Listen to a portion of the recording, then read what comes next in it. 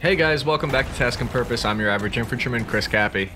The greatest threat to US naval ships are long-range missiles hitting their hull. China has been investing more heavily in long-range munitions to prevent US ships from continuing to have access near the South China Sea. This has created a need for missile defense systems to counter those new threats. In the past, rockets, mortars, and missile attacks were impossible to counter. You tucked your head between your legs and you prayed you got lucky. Today, the United States military uses the Centurion CRAM, which stands for Counter Rocket Artillery Mortar Initiative.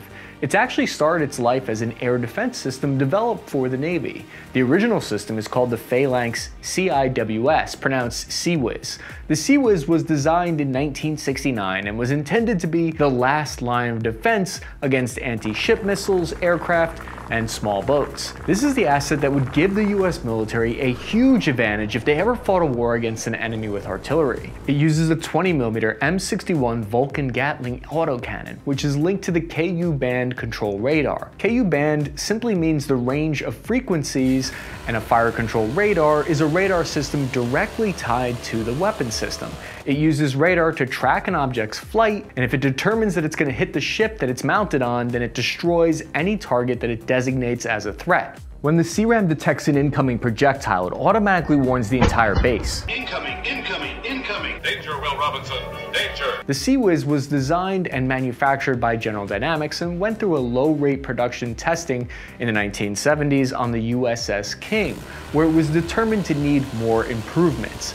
It had a second round of testing where it exceeded the requirements and eventually entered service in 1980. You can think of the Phalanx like the world's most high-stakes goalkeeper. The need for the CRAM came about because of the global war on terror. The US Army requested an anti-projectile system in 2004 in order to protect troops on the ground from rockets, artillery, and mortars. It was rushed into service one year later in 2005. The system is built around the M61 Vulcan Gatling autocannon and weighs around 14,000 pounds. The M61 Vulcan has six independent barrels that fire a 20 by 102 millimeter cartridge at 6,000 rounds per minute although it has a slower rate of fire on the CRAM at around 4,000 rounds per minute, with a muzzle velocity of 3,600 feet per second, an effective firing range of 1,625 yards, and a max range of 6,000 yards. The Vulcan as a Gatling gun traces its roots to 1946 when the US started Project Vulcan. Sounds like a metal album. The Vulcan was designed by General Electric, who sold the license to Martin Marietta,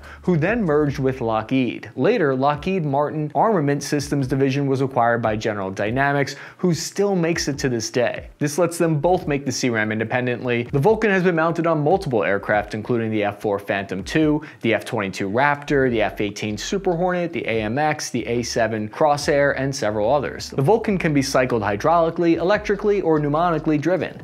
There's a gas-operated version that uses a solenoid to spin spin up the weapon, and because the Vulcan is a very custom weapon, the feed system differs depending on the use case. That top section part houses the search radar and also the tracking radar components. Apparently it's also perfect for camouflaging as a duck. The enemy won't know what hit them. Quack. Sorry about that. Then directly under the gun barrel, you see the ammo storage for about 1500 rounds. And then directly below that is the electronics compartment. The very first Vulcans used a link ammo chain, but problems led to the weapon being upgraded to a linkless fed system. The Vulcan has a total of 39 confirmed aircraft shot down during the Vietnam War. The bullets for the Vulcan cost $27 a pop, which means at 4,000 rounds per minute, it costs about 1,800 bucks to fire the weapon just for one second, which isn't so bad compared to the cost of a Patriot missile system, which is estimated at $3 million per missile. So you don't want to be firing that missile at a $2,000 mortar. I have to admit, I wasn't expecting the Phalanx to have a rich and deep meme culture online. I see no god up here, other than me. Hey, little man. How's it going? Incoming, incoming, incoming. The Vulcan is the heart of the CRAM. It's very combat proven and troops love it. But the CRAM does not have an IFF or identification friend or foe antenna. Instead, it collects data in real time from the fire control radar system on board. It looks for three different criteria in order to identify a projectile as a threat. First, the radar system determines if a target is approaching the CRAM's area. If it's not approaching the base or the area where the CRAM is located, it looks at the target's heading and determines if it still has enough time in air to change direction and head towards the CRAM's area. Then the CRAM determines how fast the target is traveling. If it's traveling too slow or too fast, the CRAM will not engage. Because the CRAM is intended to protect friendly targets, it uses a special strategy to minimize collateral damage. The CRAM fires a bullet that's called the MPT-SD, or the Multi-Purpose Self-Destructing Round. It's a tracer bullet, but it also has a hardened steel body, an incendiary nose, a high explosive core, and a special self-destructing body feature behind the HE core. This thing is a combination of HE, tracer, anti-vehicle, and self-destructing bullet. It's wild, and it's like nothing I've ever heard of before. The fact that the CRAM does not include an IFFF antenna to locate friendly forces is a bit worrying to me. So how does this play out in the real world? Is there anything to worry about here? And didn't I mention some controversy earlier? Well, there are a few major incidents with the Phalanx CIWS that took place before the Army commissioned the CRAM. There was also a live fire exercise in 1989 where the CIWS successfully engaged a drone, but as the drone fell, the CIWS re-engaged and ended up striking the bridge of the USS Iwo Jima, which killed one officer and injured a petty officer. There was also a plane towing a practice target that got shot down in 1996 when the CIWS targeted the aircraft instead of the target, although the pilot survived. During the first Gulf War in 1991, two Iraqi missiles were fired at some US ships out at sea at the same time. One of the ships fired a chaff countermeasure, which let out a cloud of metal debris the purpose of the countermeasure is to obscure the ship and confuse the incoming missiles so that they miss. A Phalanx CIWS from a different ship targeted this countermeasure and fired on the ship, hitting the USS Missouri but causing no injuries. And a couple of years before that incident, there was a situation where the Phalanx had a really unfortunate failure. In May 1987, during the Iran-Iraq War, two missiles struck the USS Stark. The Phalanx CIWS did not spin up and 37 sailors were killed with 21 wounded.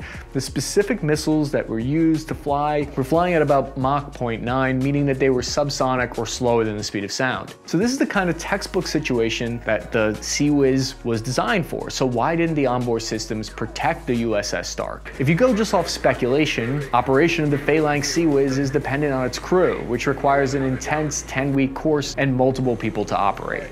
So you can easily imagine how complex the system is to operate and how easy it might be to mess up. But you don't want to rely on speculation, of course. There's a declassified official report on the incident, which was sent to the Secretary of Defense from the Joint Chiefs of Staff, and it's detailed the explanation of the events. The USS Stark was in international waters, not a direct threat, and was not antagonizing Iraq. The Combat Information Center knew about the Iraqi fighter jet and kept a constant real-time track of the aircraft, according to the report. The consensus on board was that the Iraqi fighter was most likely benign, I mean, who would want to attack a US Navy frigate unantagonized? But the two missiles that hit the USS Stark had a 38 mile range, so when the fighter changed course directly towards the US frigate, there were two huge factors that would end in tragedy. First, the weapons control officer position was vacant at the time. And second, the fire control technician who was assigned to operate the fire control radar and the CIWS had previously left on personal business. So when the tactical action officer, or TAO, finally tried to spin up a defense, the missiles were already in flight towards the frigate. All of this culminated in the automatic detection tracker not being operative. The STIR fire control radar was in standby mode instead of armed, and the M92 fire control radar was in search mode instead of tracking the missiles. So in recent years, the CRAM got a lot of combat time in the global war on terror in Afghanistan and Iraq. So how did it fare in combat? I remember the first time I saw the CRAM deploy, and I think I had the same reaction that these soldiers had. That's so sick. What I've got behind me here is a land-based phalanx weapon system. Very capable system we borrowed from the Navy. Same system the Navy uses in on its vessels to protect uh, themselves from uh, missiles boats, and aircraft. I think it's important to explain how the CRAM stacks up in the US military's lineup of air defense options. The United States Army Air Defense uses an array of ground-launched surface-to-air defense systems and a number of airplane-mounted air-to-air missiles. Systems like the Patriot missile system cover long-range, fast-flying missiles, like intercontinental ballistic missiles at heights of up to 40,000 kilometers. And then there are some systems designed to take down lower flying threats like UAVs, helicopters, and jets, and cruise missiles. Examples of this include the Stinger, the Avenger, the M-SHORAD, and a few others. There's a bit of an overlap in these systems, but there's a couple of specific threats they don't cover. The CRAM is geared for mortars, artillery, and artillery missions like the Kasua. And while the CRAM does do this job fairly well, it's a difficult task to be perfect at. Because we've had 20 years of war in the Middle East, there is an absolute ton of footage of the CRAMs firing up and destroying mortars and rockets but it doesn't usually defeat every single one. I found a number online and while I was unable to corroborate it, it claimed that the CRAM defeated around 70 to 80% of munitions fired in its vicinity in Iraq of 2006. The biggest downside of the CRAM is not its accuracy necessarily though. The combination of the CRAM's short range and how much each one costs limits how effective the system is. With an effective range of only about a mile, you would need to have a CRAM in every base that you have troops on, and you would have to place more than one CRAM on the large larger airfield. So let's do some basic math that won't even hurt my brain. At the height of the Iraq war, there was about 505 US bases in Iraq with a cost of about 10 to 15 million dollars per unit. Let's use the more conservative 10 million number here. If you wanted to place one CRAM in every coalition base in Iraq in 2007, it would cost 5.5 billion dollars. To put that into perspective, in Iraq at the same time, over 50% of military casualties were from IEDs.